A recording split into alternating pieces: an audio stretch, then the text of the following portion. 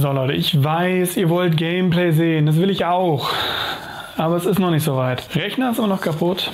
Leider. Und äh, deswegen kann ich gerade sowas hier gerade so noch schneiden. Das kostet mich irgendwie drei Stunden. Dementsprechend äh, mehr wird es halt auch leider nicht. Außerdem kann ich mich nicht mit anderen Leuten großartig treffen. Äh, auch das schwierig. Dementsprechend äh, ist leider nur dieses Setup übrig geblieben. Und deswegen dachte ich, zeige ich euch heute etwas, was ich tatsächlich gerne machen würde mit mehreren Sachen. Ähm, ich würde ganz gerne mehr auf die anderen Game Modes mal eingehen. Zumindest so eine kleine Reihe im äh, Blackie zeigt Modus. Ihr wisst ja, ich bin von Herzen aus Legacy-Spieler. Ich liebe Competitive Gameplay. Allerdings in mir ist immer noch so ein kleiner Casual, der ganz gerne mal mit seinen kleinen Boostern hier gucken, dass es nicht gerade reinspiegelt, mehr mache, als dass ich nur sie aufreiße. Und zwar habe ich äh, das Booster Battle mit einem Kollegen immer wieder gemacht im Laden. Das ist Hammer. Ihr nehmt ein normales Booster, hier wird ein Modern Horizon Booster, ist egal. Ihr könnt auch einen Draft Booster von irgendeinem anderen Set nehmen, sofern ihr Draft Booster haben wollt. Ich habe das noch nicht ganz raus mit den Set Boostern, Draft Boostern, den Unterschied davon. Wenn es um diesen Spielmodus geht, aber das geht mir bei den anderen Sachen, die ich euch zeige, ähnlich. Ihr nehmt einfach so ein kleines Booster, ich kann es irgendwie die ganze Zeit, echte Karten, und nehmt euch zwei von jedem Standardlandtyp. Also zwei Gebirge, zwei Inseln, zwei Ebenen und so weiter und so fort. Und dann macht ihr dieses Booster auf, legt es verdeckt auf den Tisch, ohne euch das anzuschauen. Nehmt die zehn Länder und mischt sie dazu. Also habt ihr elf Länder hier drin, 11 auf 14. Ist ein bisschen krass hochgedreht von den Ländern, sorgt aber dafür, dass ihr eine sehr ausgewogene Mana-Basis habt und dementsprechend auch ein ganz gutes Spielerlebnis. Ihr spielt ein ganz normales Spiel von Magic mit Draw Phase, Main Phase, Combat und so weiter und so fort. Wir haben persönlich halt immer nur mit 10 Leben gespielt. Man kann da vielleicht auch je nach Set ein bisschen anders spielen. Wir haben immer mit 10 Leben gespielt, was ganz okay ist. Und dann spielt ihr damit gegeneinander. Also ihr braucht zwei davon und ihr könnt das nur zu zweit spielen. Ihr könnt das natürlich auch Multiplayer spielen, aber dann wird es echt dämlich. Aber einfach so ein kleines Booster-Battle. Jeder holt sich gerade Booster, mischt zehn Länder rein, schmeißt die auf den Tisch und gibt Gas. Das haben wir meistens mit ungesleevten Booster gemacht. Und ja, wir haben es auch mit Modern Horizon gemacht. Und ja, es wurden auch Force of Negation damit gemischt. Ohne Sleeves. Das passiert halt mal damit. Ihr könnt natürlich auch einfach 15 Sleeves nehmen und könnt dann einfach die Karten einsleeven, verdeckt natürlich, äh, plus die 10 Länder, die ihr eh noch habt, die auch eingesleeved werden sein sollten. Dann spielt ihr einfach gegeneinander. Es geht einfach nur darum, ratzfatz, dauert auch nicht lange, ihr seid normal so 5 bis 10 Minuten durch. Wunderbar die neuen Karten kennenlernen. Man lernt auch viel mehr über die Booster, weil ich liebe ja die Booster. Das ist ja auch der Grund, warum ich meine Booster-Openings, die ja Dienstags und Donnerstags kommen, auch so ein bisschen zelebriere. Auch wenn es immer nur ein Booster ist. Aber ich gehe halt hin und sage, hey, ich mache einen Booster, nehme jede Kamm durch, lese mir die Kamm durch, schaue mir das Artwork an, genieße so ein bisschen diese Karten, die wir haben, weil gerade im Competitive-Bereich ist halt oft Karte angucken, Power Level evaluieren. Der Text ist wichtiger als die Box oder das Frame oder ähnliches und gib ihm. Das will ich nicht. Zumindest nicht mit meinen Boostern, das ist meine Sichtweise. Und anscheinend bin ich da nicht alleine, weil Wizard of the Coast hat in die Sendiger Set Booster und sofern ich gehört habe, auch in die Kaltheim Set Booster. Da bin ich mir nicht ganz sicher. Das werden wir ja nächstes Wochenende klären. Beziehungsweise theoretisch haben wir dieses Wochenende Pre-Release gehabt, aber die Set Booster kommen nicht zum Pre-Release. Ich bin mir noch nicht mal sicher, ob sie zum Release kommen oder eine Woche nach Release. Ist ja auch egal, wir werden das auf jeden Fall lernen, ob da noch mehr dieser kleinen Karten drin sind. Und dabei rede ich von denen hier gucken, dass sie nicht glitzern. So, hier einmal da. Davon gibt es natürlich fünf Stück. Und äh, da hat wahrscheinlich noch nie jemand wirklich drauf geguckt oder hat sich damit auseinandergesetzt, wie das genau funktioniert. Und deshalb dachte ich mir, es ist ein verschiedener Spielmodi. Ich mag Spielmodis, die mit Boostern zu tun haben. Ich mag Spielmodis generell tatsächlich sehr. Dementsprechend schauen wir uns das mal gemeinsam an. Ich gehe alle fünf durch. Nachdem ich euch meine Version mit dem Booster Battle vorgestellt habe, gehen wir die fünf durch. Und wenn euch das gefallen hat, könnt ihr natürlich gerne das Video liken, kommentieren, ähnliches. Aber viel wichtiger ist, wenn wenn ihr kommentiert. Schreibt mir mal in die Kommentare, ob ihr gerne noch andere Spielmodus sehen wollt. Gerade Arc Enemy, Plane Chase oder auch manche kleine Sachen, die manche Leute überraschen würde, was Wizard of the Coast alles zu Pre-Releases gemacht hat.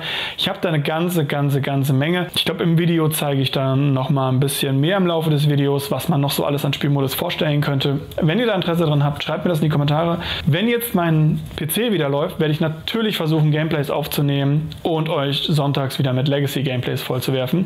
Allerdings habe ich ja immer noch Mittwoch, Donnerstag, Freitag, wo ich keine Videos hochlade. Und da kommen ja normalerweise die ganzen Blackie erklärt, Blackie zeigt und ähnliches. Die muss ich natürlich auch irgendwie füllen. Und so Game-Modus vorstellen, kann ich mir sehr gut vorstellen, dass das ein paar Leute sehen wollen, gerade wenn es casual geht.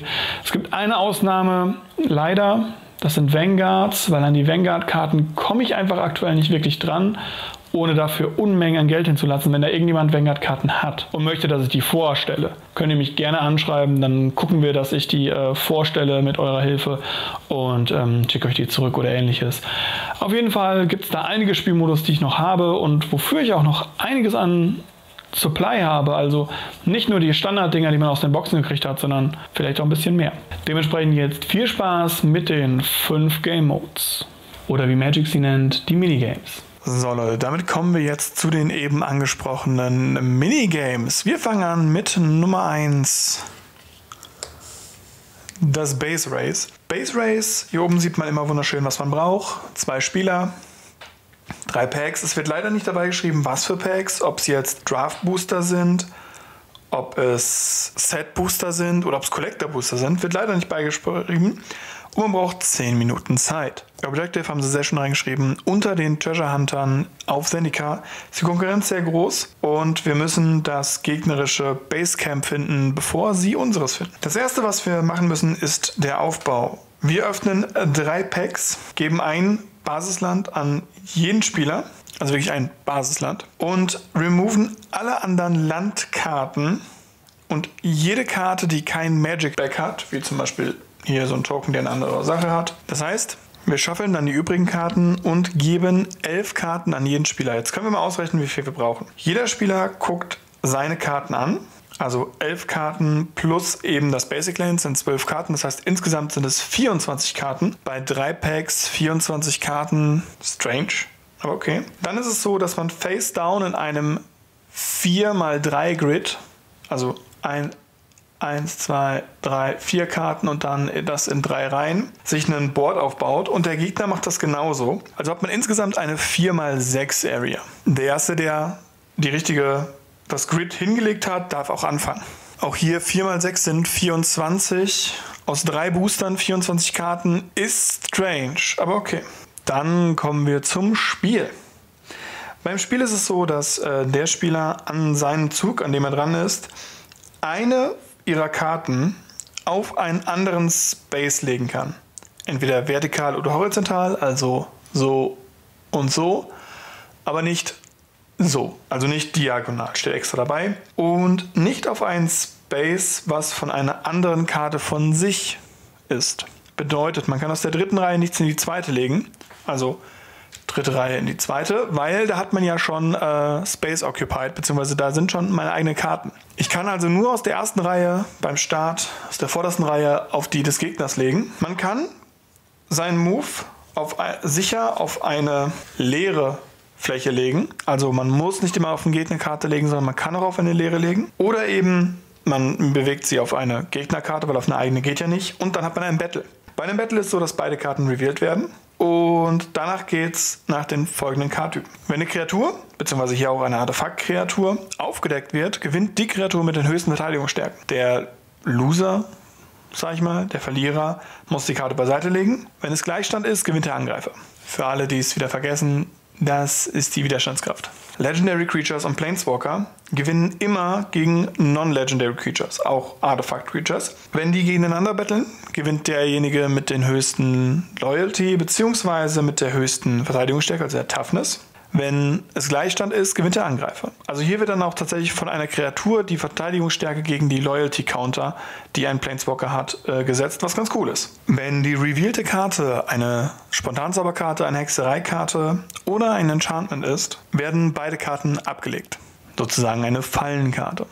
Wenn man hingegen einen Artefakt trifft, ist es so, dass ähm, der Spieler, der das Artefakt beherrscht, egal ob angreifender oder verteidigender, muss dieses Artefakt beiseite legen und bekommt einen Extrazug. Das ist ziemlich mächtig. Wenn beide Karten ein Artefakt revealen, also wenn beide Artefakte haben sozusagen, bekommt nur der Angreifer einen Extrazug. Das ist schon ziemlich gut. Und natürlich braucht man eine Win-Condition, wenn das Land getroffen wird. Also wenn das Land angegriffen wird oder man eben mit dem Land angreift, dann verliert man das Spiel. Hingegen, wenn die Länder sich an, gegenseitig angreifen, dann gewinnt der angreifende Landspieler das Spiel. Also wenn zwei Länder aufgedeckt werden, gewinnt eben der Angreifer. Das ist der erste, das erste Minigame aus diesem Zendika Set Booster Gedöns. Und ich würde sagen, wir gucken uns mal das zweite an. Dann gucken wir uns den zweiten Spielmodus an. Den haben wir hier. Er nennt sich Booster Blitz. Man braucht zwei Spieler, zwei Booster und 10 Minuten Zeit. Spart also ein Booster. Hier ist ein Rechtschreibfehler, glaube ich, drauf. Es sollte, glaube ich, nicht Best Your Opponents, sondern Beat Your Opponents heißen. Quality Control. Beat your opponent in a series of fast magic games using only the cards in a single pack. Also man nimmt nur einen Booster und äh, hat dann ein kleines Best of Three.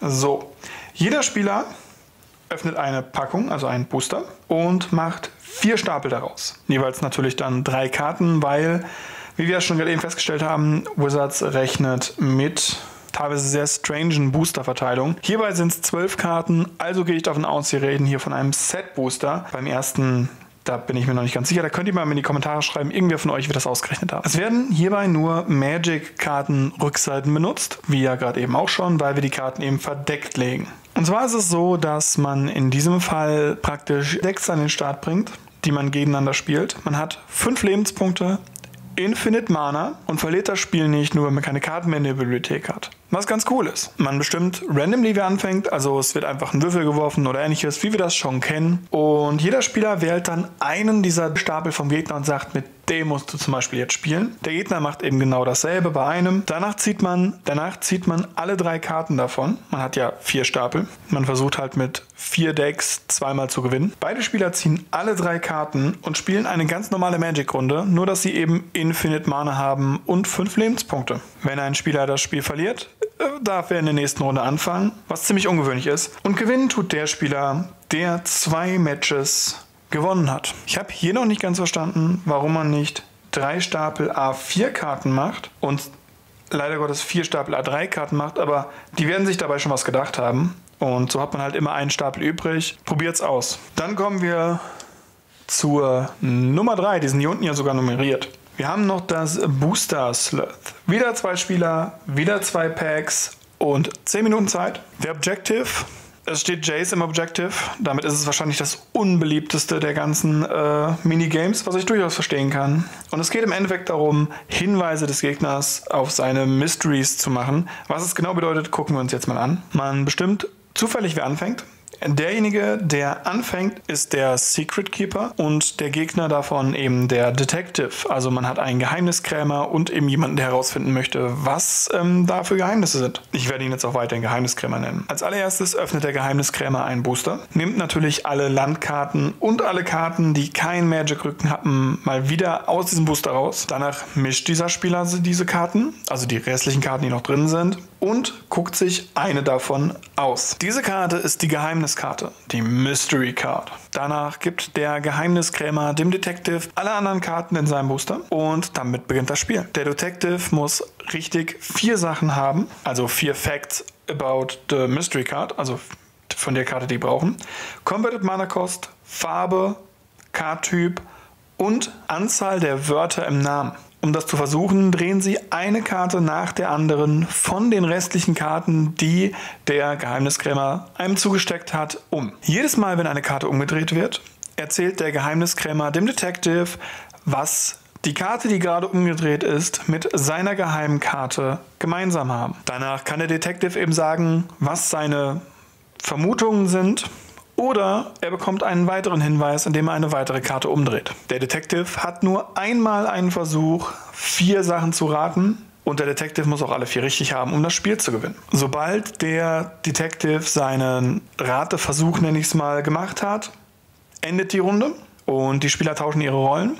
Dementsprechend ist der ehemalige Geheimniskrämer jetzt der Detective und der ehemalige Detective jetzt der Geheimniskrämer. Und das Ganze passiert mit einem weiteren Booster nochmal. Danach geht es darum, welcher der Detectives die wenigsten Karten gebraucht hat, um eben dieses Ganze Dingen zu gewinnen. Gewonnen hat der Detective, beziehungsweise der Spieler, ab dem Moment sind es ja keine Detectives mehr, der am wenigsten Karten gebraucht hat, also als Hinweiskarten gebraucht hat und alle Sachen richtig hat. Wenn kein Spieler richtig geraten hat, Dann wird hier empfohlen, nochmal eine Runde zu spielen.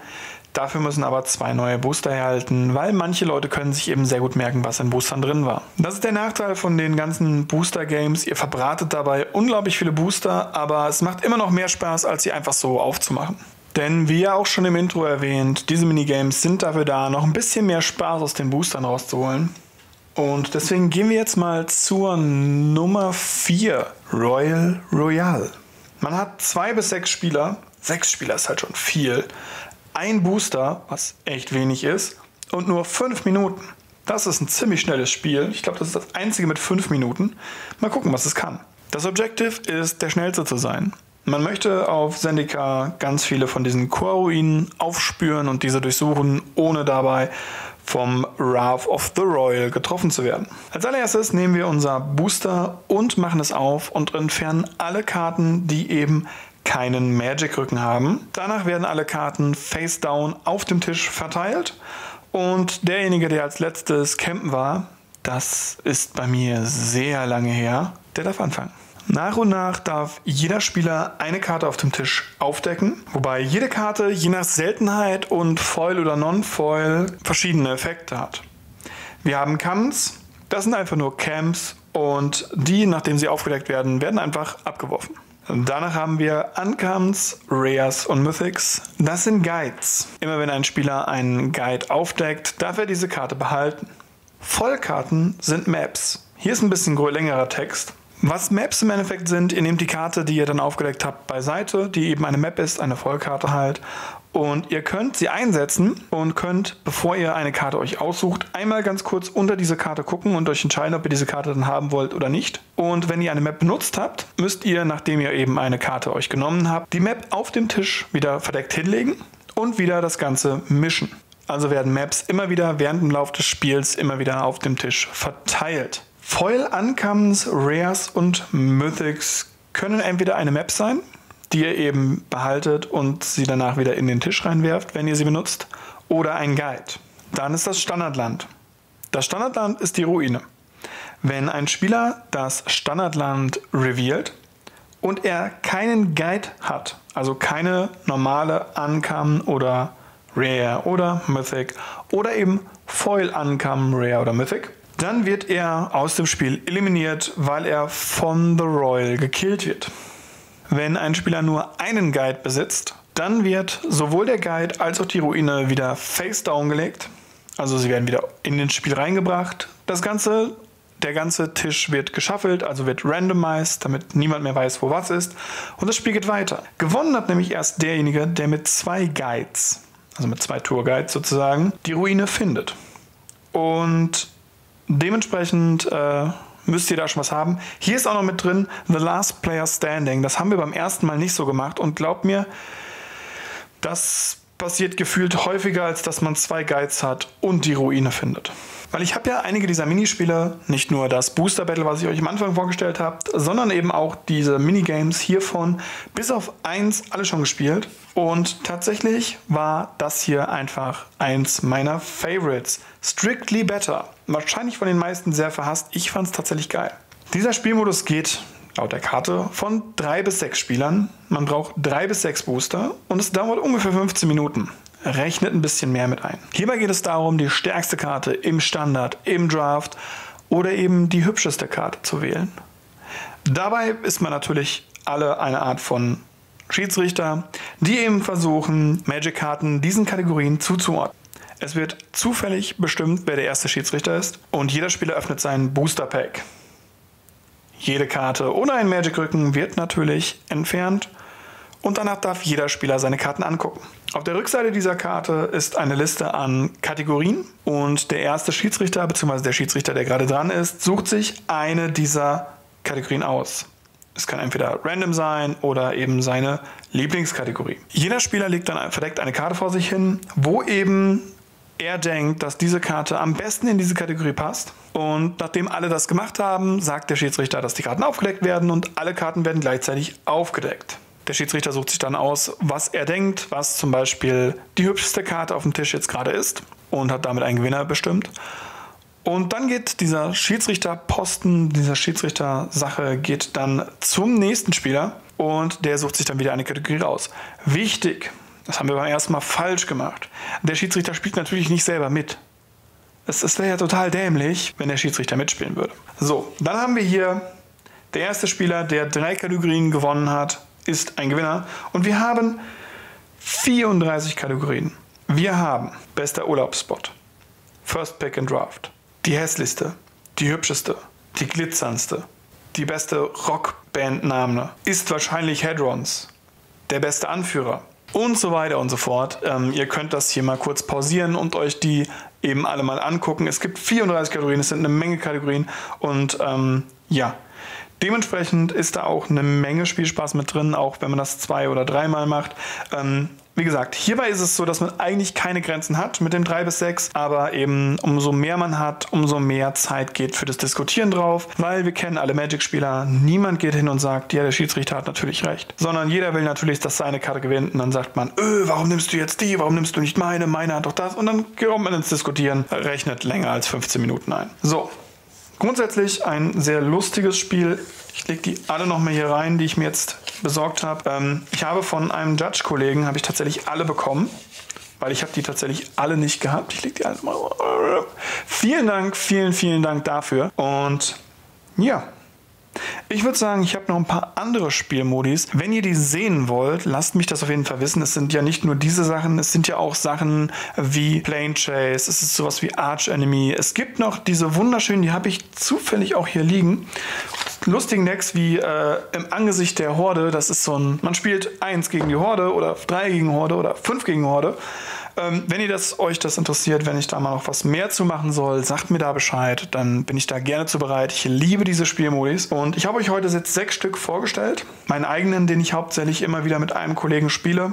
Schöne Grüße an dich, Steffen. Ich vermisse das sehr, das im Laden mit dir zu spielen. Und eben die fünf weiteren, die Wizards einem vorgeschlagen hat. Ich bin mal gespannt. Ich habe es jetzt noch nicht gesehen, ob in Kaltheim auch diese Teile drin sind. Ähm, das Video wird ein bisschen im Voraus produziert. Deswegen ähm, könnt ihr mir das gerne in die Kommentare auch noch mit reinschreiben. Oder eben, ich werde bis dahin es wissen und werde daraus schon ein Video gemacht haben. Wie gesagt, sagt mir mal Bescheid, gebt mir mal irgendwie, ob ihr jetzt mir Daumen hoch gebt, ob ihr Kommentare schreibt oder ob ihr das Kommentar liked, wo dann draufgeschrieben wird, ja, bitte macht das mehr oder nein, bitte lasst das für immer und ewig. Wir hassen Spielmodis ohne Ende. Sagt mir das einfach, damit ich das irgendwie sehen kann und dann sehen wir uns beim nächsten Mal. Bis dahin, neuer Black Ciao, ciao.